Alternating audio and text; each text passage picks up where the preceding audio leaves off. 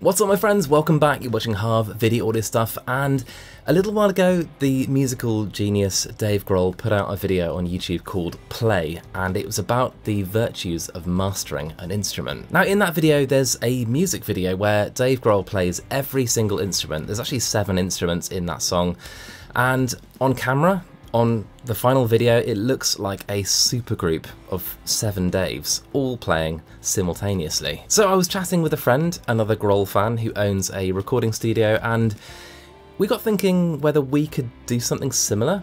I mean, how hard can it be? Here's a little preview.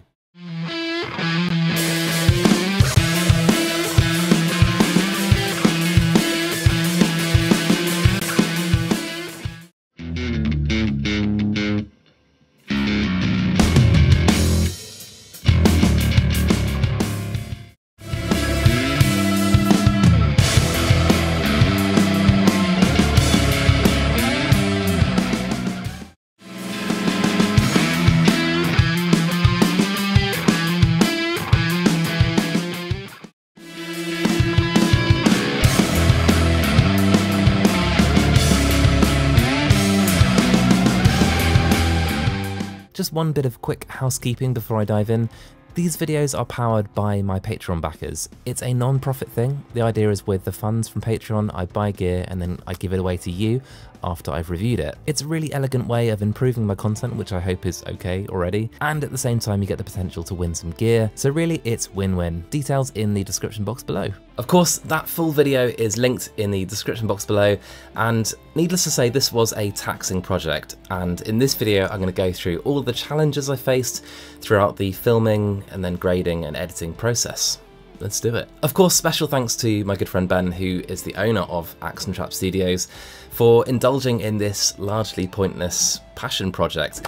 But it was a good excuse to show off the amazing space they have and facilities, so many thanks to them and yeah, they're linked below. Check them out. It was a full day of filming, and the key was to nail the composite shot, the wide one, with Ben playing each instrument. This was achieved, of course, by filming each performance separately whilst not moving the camera. I also had to light each area separately whilst trying to not move anything in the room. Also, as each one was to be the main recorded audio for the music video, there was massive pressure on Ben to perform and basically nail each performance perfectly. Here you can see each shot with the light in a different position each time, I used just a single light top-down style on full power because I wanted to create as much contrast as possible in camera so that when it came to grading I could achieve a similar kind of look to the Grohl video quite naturally. I shot the whole video on my Sony a7S III,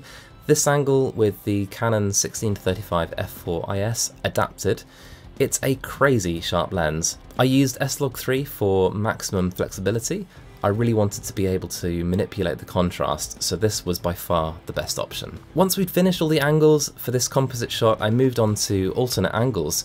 I simply did a load of shots on a gimbal using the Sony 20mm f1.8 whilst Ben played a few more takes. I actually lowered the power of the main light a little and then added a small Lupo kickass panel behind the subject for a bit of backlighting goodness. And that was it for filming. Sounds easy, right?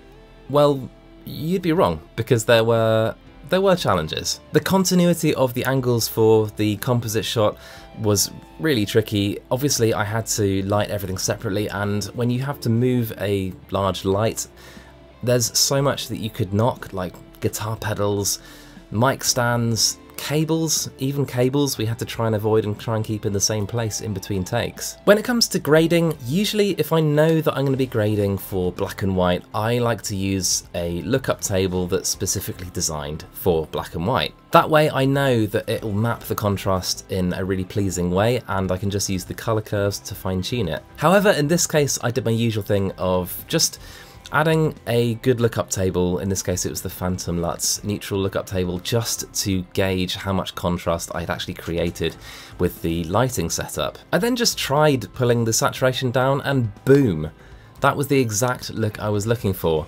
Really clean, nice contrast and lovely highlight roll off there was no need to do anything else. The only other thing I did do was just pull the shadows down just a touch after the lookup table in our chain of plugins. And the reason for that is because the Phantom LUTs faithful to the way that Arri color science works, it will only drop the shadows down to around 3% and then they won't go any further. So if you want if you want true black, like 0%, you have to add uh, some sort of correction after the lookup table. Correct me if I'm wrong, if it's 3% um, for Arri, can't remember, it's something like that. In terms of editing challenges, well, there, there were some the first job, of course, is to sync our clips with the audio. Usually when I'm editing a music video, I'm dealing with mime takes, you know, where musicians will mime along to, to music and I've got scratch audio on every clip.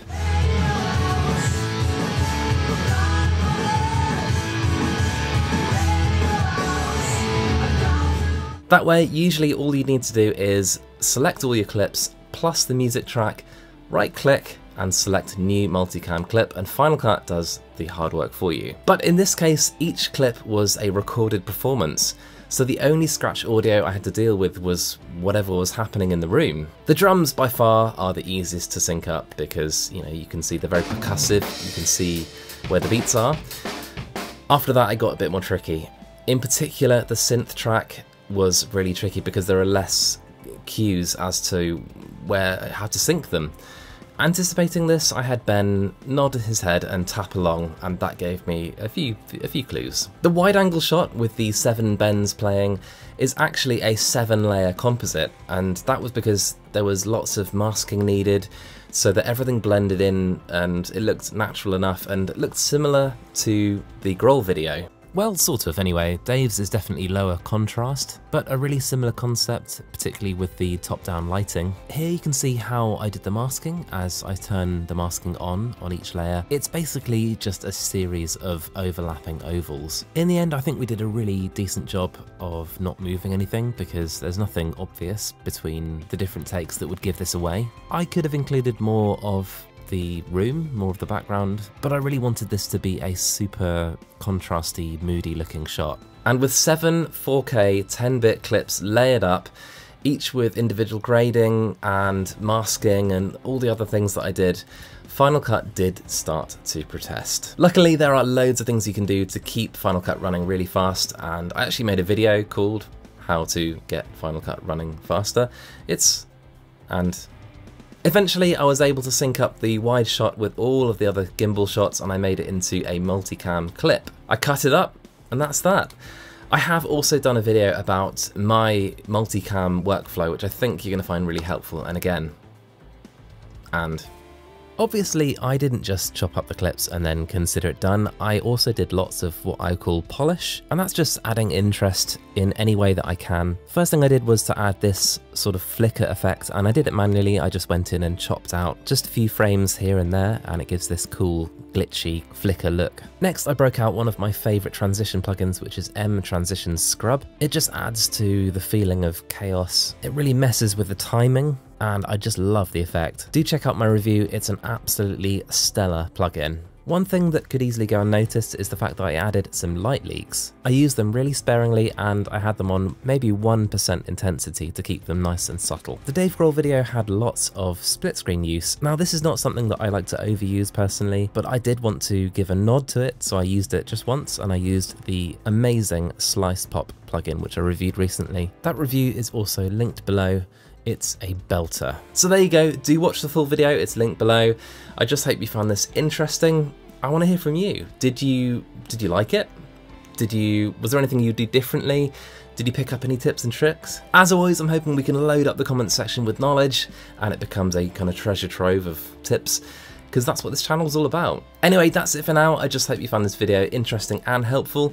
I've got a large archive of videos about videography on this channel, of which YouTube has handpicked this video for you, and the one underneath is my most recent upload. Until next time, let's help each other out and shoot better video. See you guys.